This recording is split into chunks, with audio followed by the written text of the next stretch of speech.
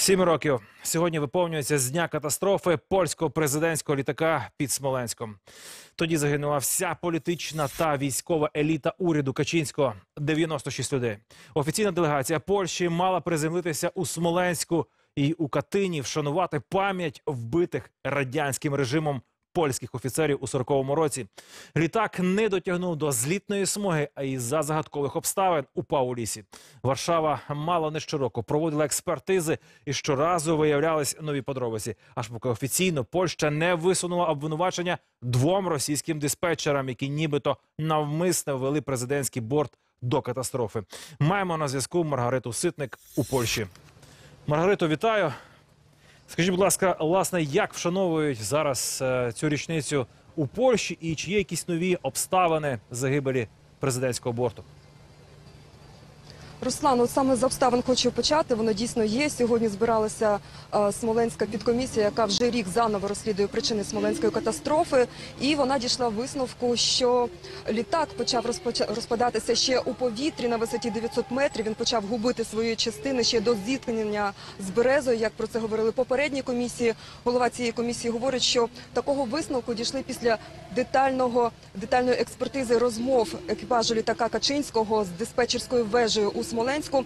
Але поки що заключних висновків немає. З ними комісія не поспішає, не говорить ані про вибух, ані про замах, ні публічно, е, ані відверто поки що.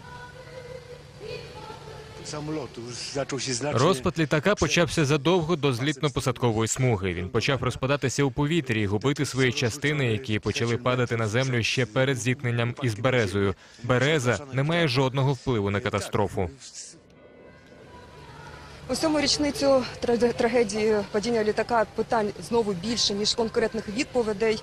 Про це сьогодні говорять всі польські політики, які беруть участь в урочистостях. Вони тривають від учора. Пам'яті пам- марші пам'яті, молебні, покладання квітів, і польські високопосадовці, і прості люди приходять до місць поховання жертв смоленської катастрофи і до різних пам'ятних знаків.